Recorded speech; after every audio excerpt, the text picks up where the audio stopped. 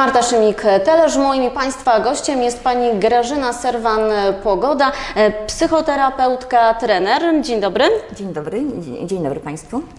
Spotykamy się w ramach projektu Przeciw Przemocy, a tematem naszej dzisiejszej rozmowy będzie właśnie przemoc, również ta przemoc seksualna. Zanim o tym, jakby Pani mogła nam coś więcej powiedzieć o sobie, czym Pani dokładnie zawodowo się zajmuje? W tej chwili, po, od trzech lat, po przejściu na emeryturę kolejny raz, Zajmuję się tylko psychoterapią, pracuję w gabinecie. No i y, tam po raz kolejny spotykam się z tematami, z którymi y, miałam do czynienia pracując jako pedagog szkolny w średniej szkole i pracując y, w różnych zespołach, prowadząc specjalistyczne zajęcia edukacyjno-korekcyjne dla sprawców, czy ewentualnie właśnie na zasadzie równowagi wspierających kobiety, które były objęte przemocą.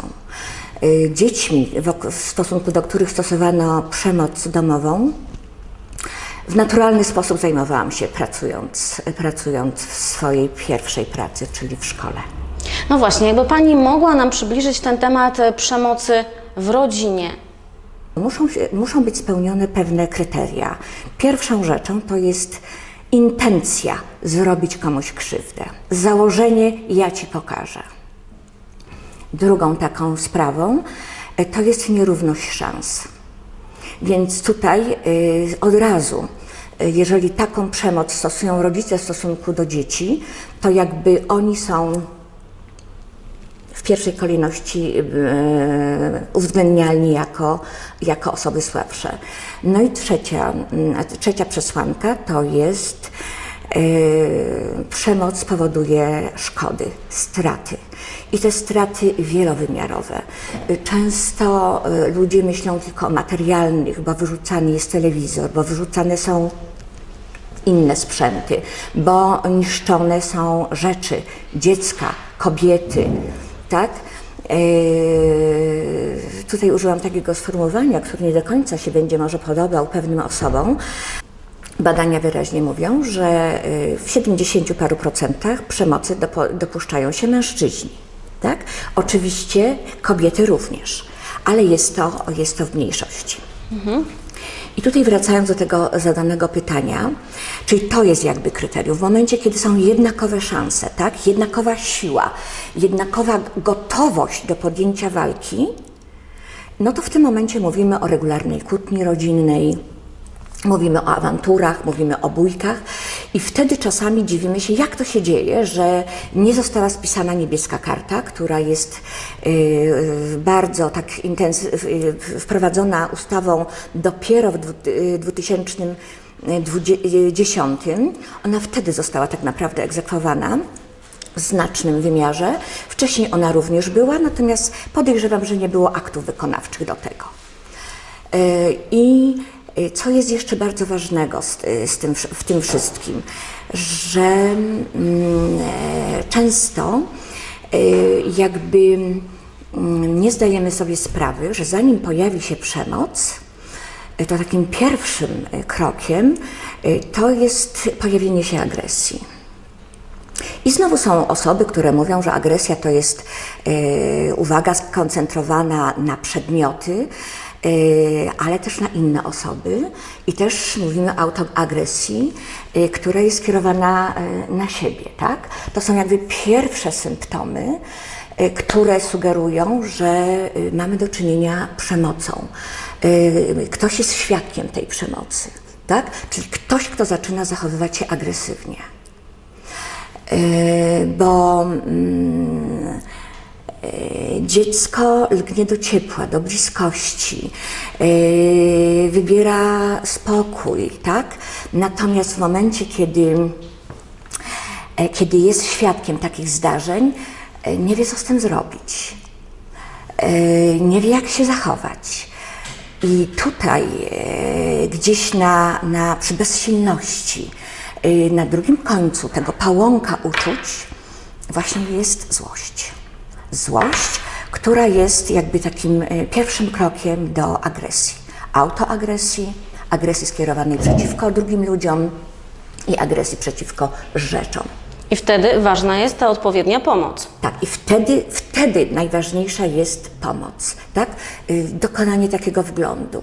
Myślę, że nadal y, u nas w Polsce y, panuje takie przekonanie, nie wtrącać się, nie widzimy. Ja myślę, że te trzy małpy, gdzie nie widzę, nie słyszę i nie mówię, ja nie wiem, czy to nie, był, nie powinna być flaga w naszym kraju. Proszę wybaczyć taką złośliwość, ale ja, e, będąc w gabinecie, e, czasami słyszę, że dzieci, które udają się, to w różnym wieku, paroletnie, nas, bardziej nastoletnie, bo te dopiero jakby y, odważają się poszukać pomocy, tym bardziej, że szkoła tak naprawdę mówi o tym, mówi o złym dotyku, mówi o, e, o, o, o tym, gdzie szukać pomocy. Sama uczestniczyłam w dziesiątkach takich programów, e, gdzie wchodziło się do podstawówki, do gimnazjów, do, do szkół średnich, czyli to jest coś, na tym etapie było przynajmniej tak zorganizowane, że młodzież wie, e, gdzie się udać, a potem jak szuka pomocy, to nie zawsze ją dostaje. A w skrajnych przypadkach e, słyszę właśnie, przestań być kon, kon, kon, e, konfidentem. Tak? Jest to na tym etapie, kiedy trzeba mm, otoczyć dziecko opieką, y, ono nagle dostaje, zostaje zatrzymane, tak? I jest, jest bezradne. Bo czy ktoś ma y, 12 lat, czy 20, y, nie wie, co, co zrobić w takiej sytuacji, tak? Zostało samo. No to właśnie, jak reagować? Jeżeli już mamy tą informację, że coś e, złego się dzieje w danej rodzinie, że to dziecko potrzebuje pomocy, to jak my mamy reagować? Jak mamy pomóc? Co mamy robić? Ja myślę, że złość jest naturalnym uczuciem, e, które się pojawia, tak samo jak radość, smutek. Złość pojawia się jako, jako, jako reakcja na frustrację, na, na niezaspokojoną jakąś potrzebę, tak? I w tym momencie jakby to nie jest, żeby zdusić tą złość w zarodku, tylko z dzieckiem rozmawiać yy, i stworzyć mu taką możliwość rozładowania tego napięcia. Ta rozmowa jest przede wszystkim e, jest bardzo tak. ważna.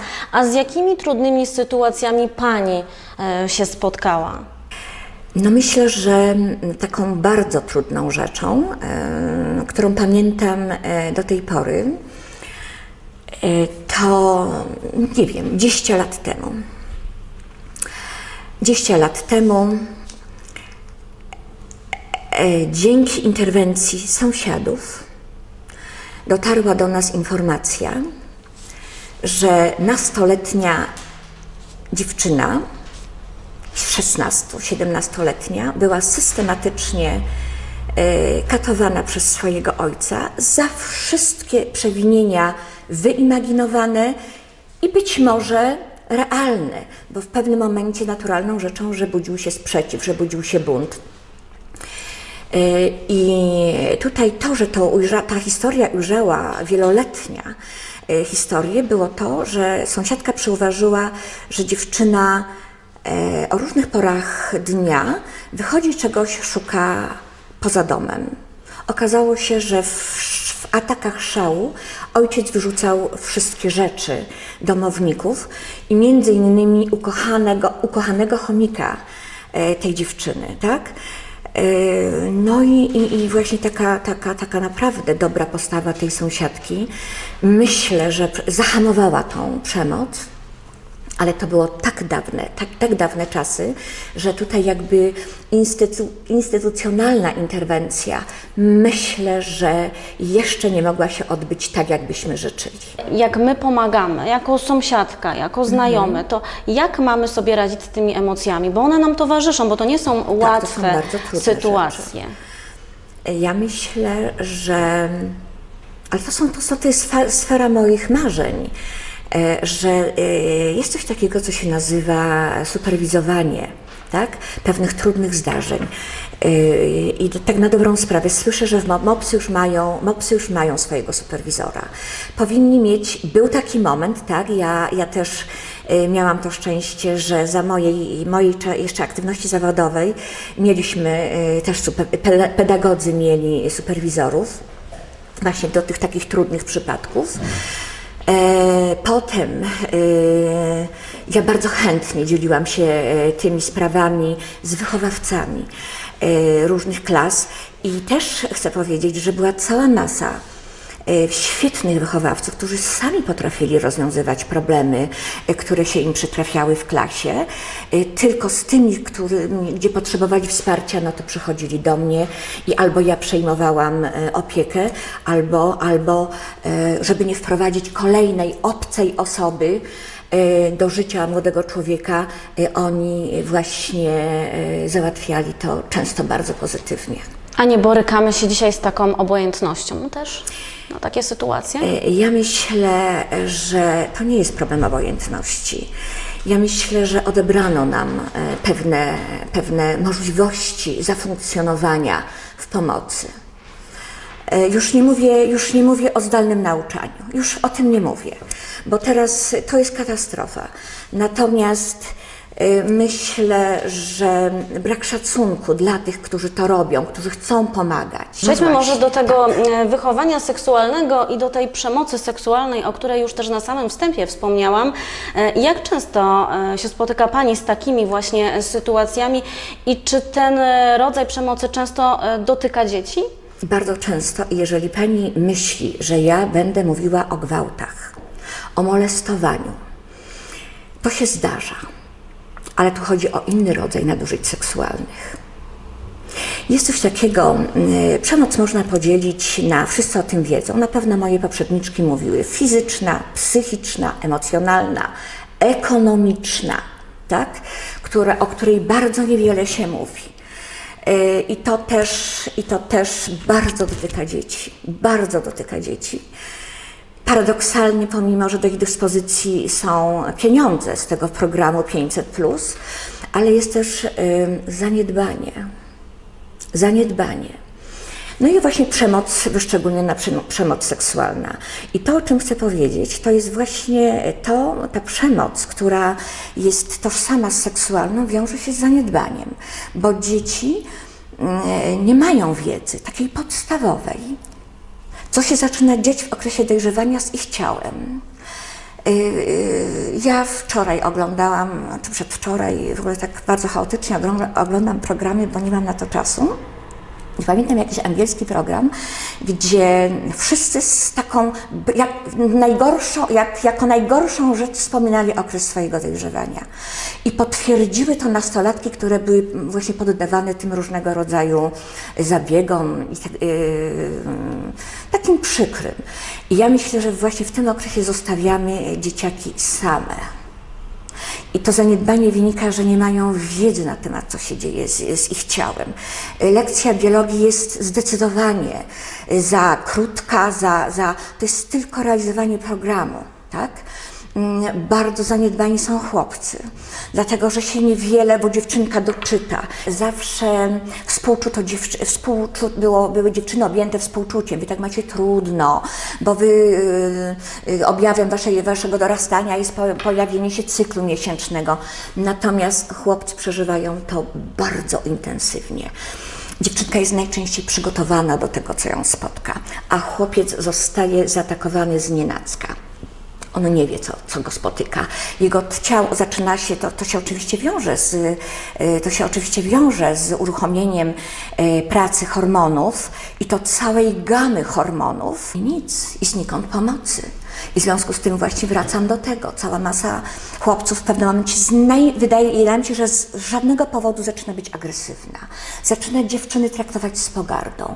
Zaczyna być agresywnych stosunków do własnych matki. Czyli znowu wracamy do tej rozmowy. Znowu wracamy do tej rozmowy. I ja myślę, że takim głównym, e, głównym tematem, po którym ja się podpiszę, ob, w ogóle, w ogóle będę podpisywała się bez końca, to jest zaniedbanie, y, niedostarczanie wiedzy, y, to jest ograniczenie dostępu, to jest cenzurowanie. Ja nie powiedziałam tutaj, ale miałam to szczęście, y, zresztą bardzo dużo jest w Cieszynie osób, które ukończyły u pana Starowicza e, wychowanie seksualne.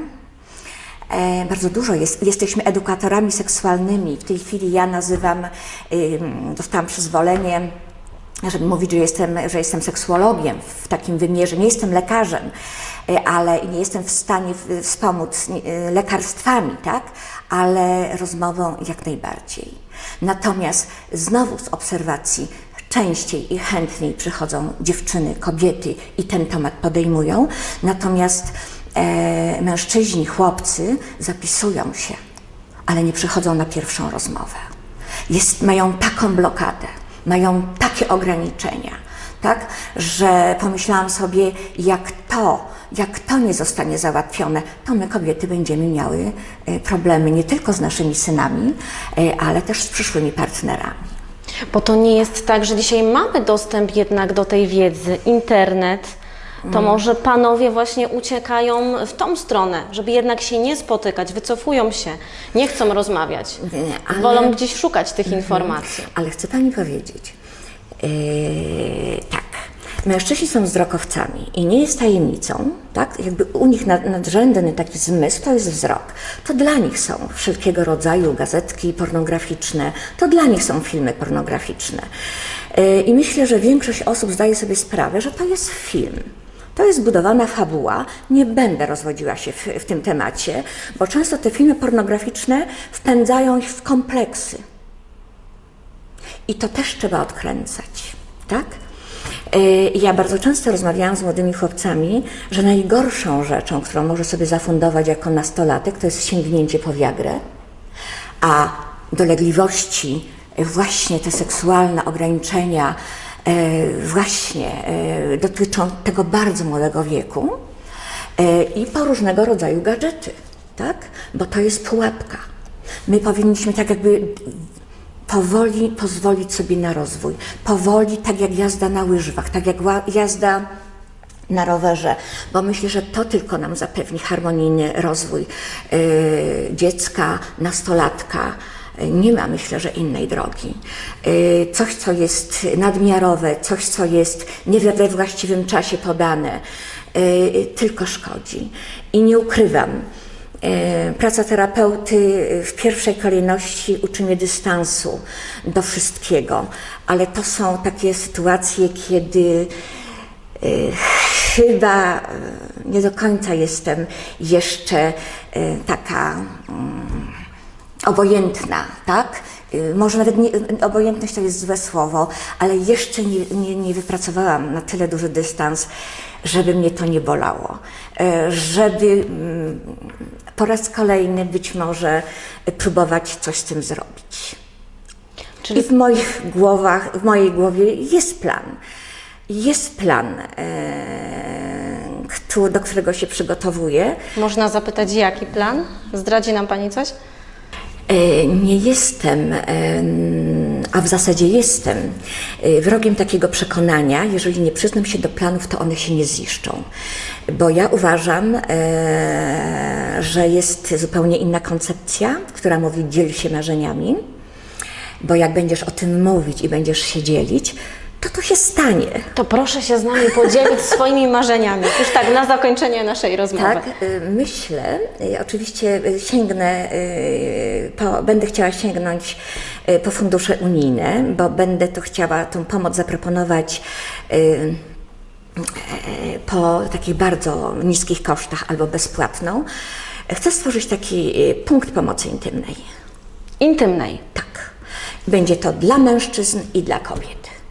Nie mylić y, z, z taką czystą higieną, tak? Tylko właśnie w tym, y, w tym obszarze. Tutaj w Cieszynie? Tutaj w Cieszynie, w gabinecie. W gabinecie. W gabinecie. To tego Pani życzymy. E, A podsumowując naszą rozmowę, czyli najważniejsza jest właśnie ta rozmowa. Rozmowa i danie szansy dostania wiedzy.